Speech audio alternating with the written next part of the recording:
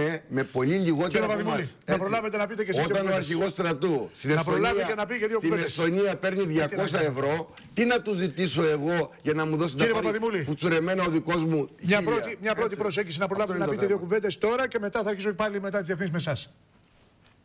Πρόκειται για ένα, προϋπολογι- ένα σχέδιο προϋπολογισμού εξοραϊσμένο με υπεραισιόδοξες προβλέψεις, κυριολεκτικά στον αέρα, το οποίο δεν έχει πάρει την έγκριση της Τρόικα. Υπεραισιόδοξε προβλέψεις έχετε και εσείς με το πρόγραμμά σας όμως. Δηλαδή έχετε κάποια κοινά στοιχεία.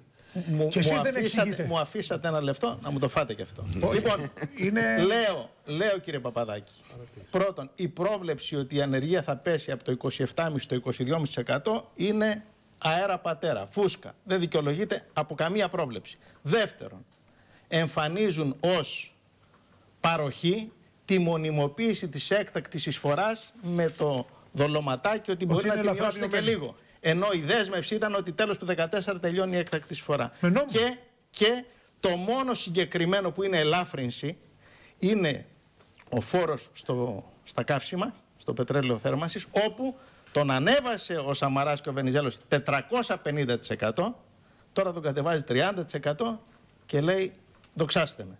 Η γνώμη μου είναι ότι αυτή η κυβέρνηση δεν θα προλάβει να εφαρμόσει αυτόν τον προϋπολογισμό. Δεν θα είσαστε εδώ να μας βλέπετε μόνο. Θα ρωτάτε και θα ακούτε και θα παρεμβαίνετε. το διάλειμμα. Μετά το Τους διάλειμμα. έχουμε αφήσει έχετε- άφωνους. Μετά τις Έχετε- έχετε, έχετε- τοποθετήσεις θα μιλήσουμε. Ήταν, ήταν, ήταν όμως τόσο δυναμική και οι δύο που σα έχουν αφήσει άφωνους. Ε.